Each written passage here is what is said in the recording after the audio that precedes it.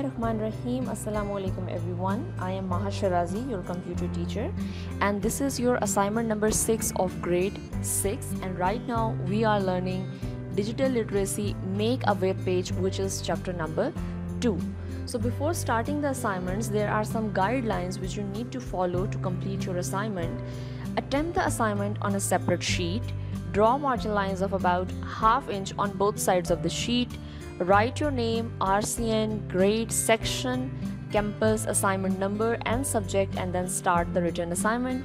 Maintain a file of assignments to be submitted when school reopens and give at least 30 minutes per day to assignments so you can easily finish it on time. Now we are going to read from page 28 to 33 from your computer book that is computing and after that we are going to solve the following question on a separate sheet. So the topic 2.4 is add images to your web page. In this lesson, you will learn how to add images to a web page. Choosing the right images. Adding an image to a web page makes the page more interesting. It can also make the web page easier to understand. Make sure you choose images that work with the text on your web page. Be safe and responsible.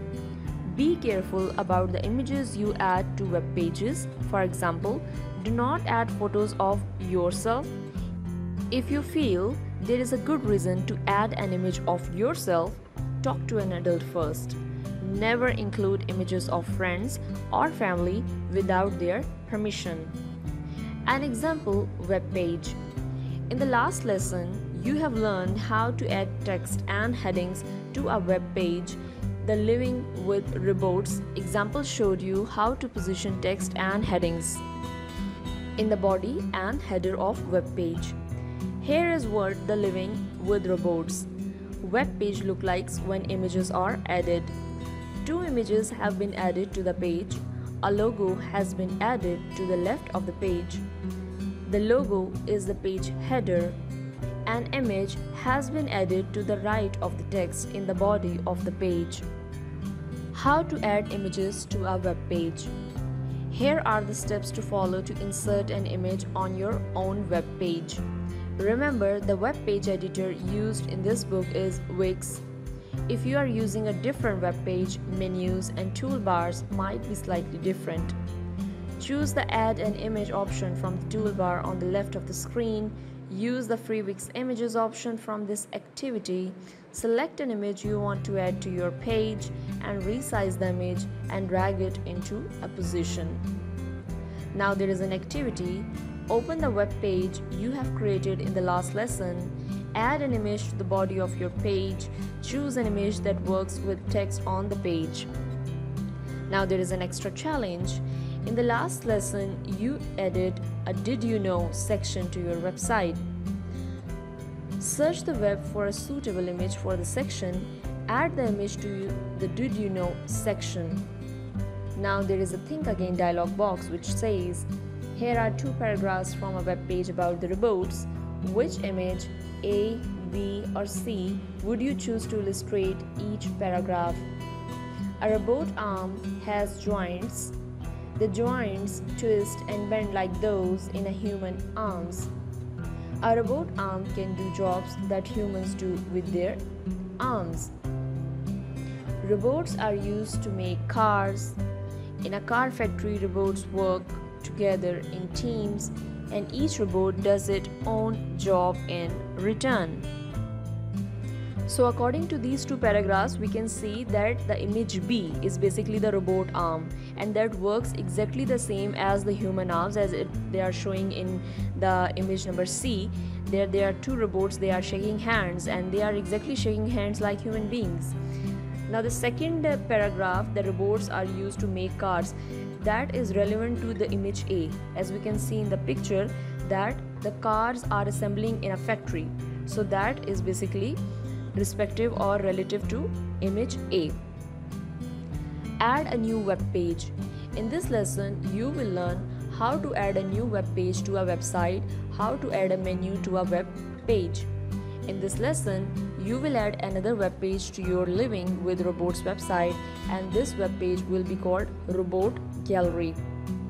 How to add a new web page. Here is how to add a new web page. Number 1.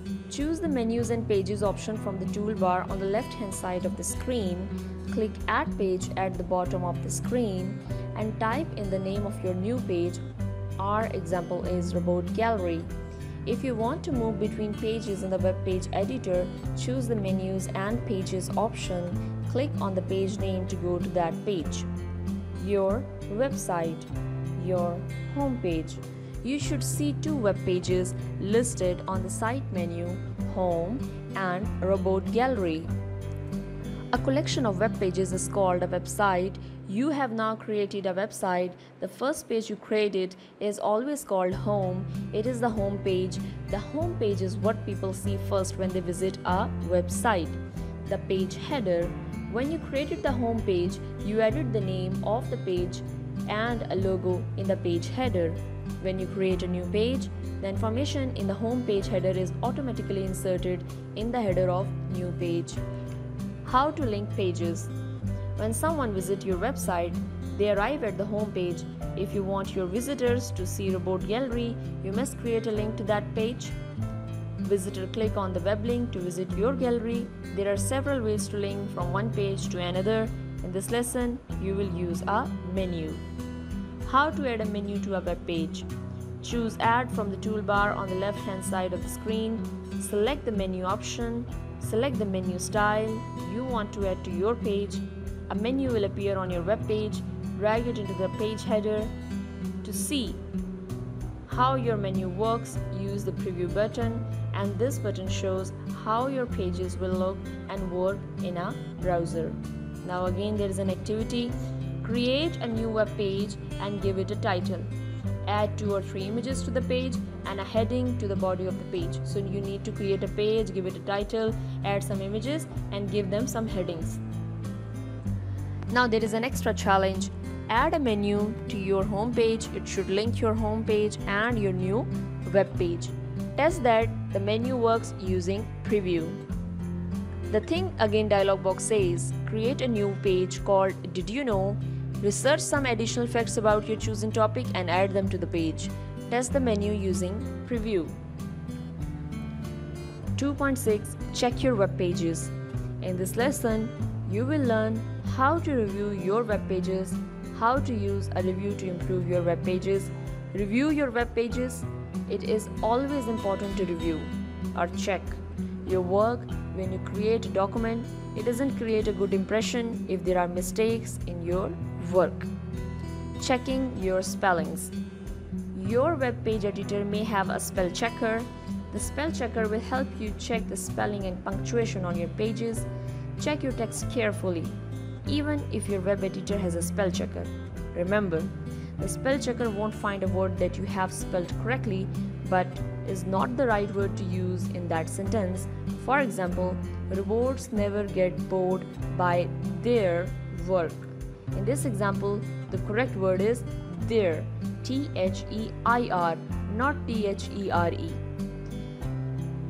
Is your text clear?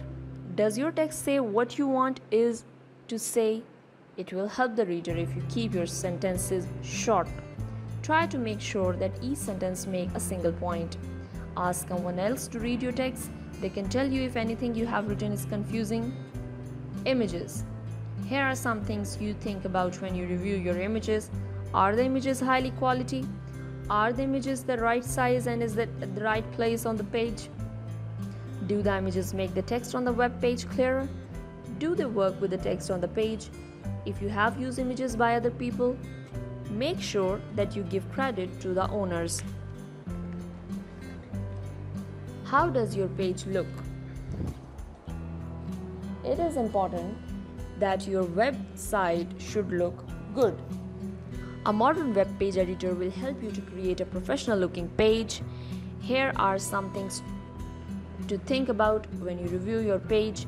Have you used font and size constantly? Don't use too many different ones. Do the colors you have used go well together? Avoid using too many bright colors. Do the headings help you to understand what is the page is about? Are items on your page too squashed together? Are they too far apart? Ask someone else to look at your page and answer these questions, and they may have ideas that will help you to improve how your pages look. Do the links work? Check the links and menus on your pages to make sure they work.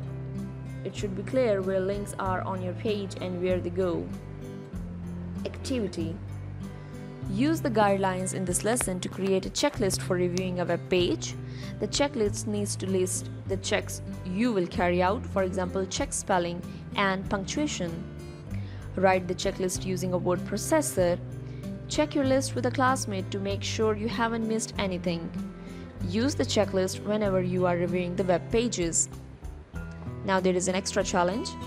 Work with a partner, review each other web pages Write a brief review of your partner's website and tell them what changes you think they should make. Use your partner review to make the changes you think are needed. Explore more. Use the checklist to review the homepage you have created. Ask someone in your family to take a look too. Can they suggest ways to make it better? Make any changes you have talked about. So, this was all about your today's lecture. Now we are going to the activities. In the activity, they are saying that you have to create a web page using the software Wix web page editor and do the following. You need to give it a title, add some text and related images to the web page, add a heading to the body of the page, add another web page to the previous one, add a menu to your web page, and send the link of your web page to your teacher. So this was all about your today's lecture and i hope so it will be easy for you to complete your assignment. So do it on time and we are going to meet again in the next lecture. Through this electronic class till then take care of yourself and allah hafiz